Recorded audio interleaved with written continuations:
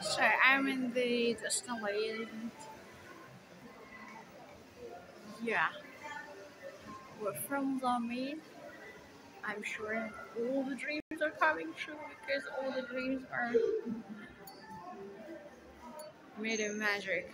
And magic really does happen here.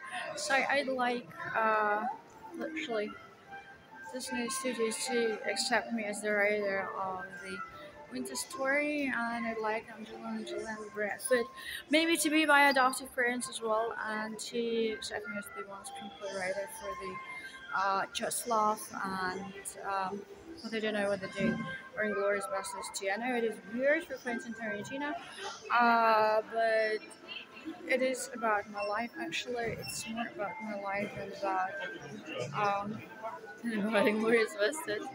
So I literally be happy if um, you just have to accept as the one writer because I am the one writer. So I'm not dying. I don't have any designs to the death. Um, please do not fantasize about my death because it is just hilarious and true.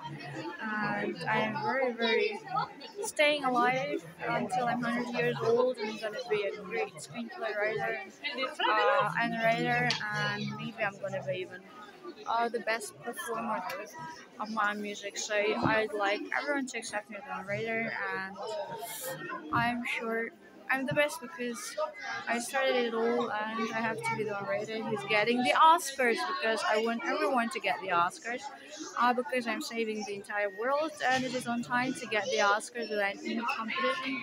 So I'd like everyone who's involved in my film project to get the Oscars because it's on time to celebrate life and the happy days and change the world to a paradise. Thanks a lot.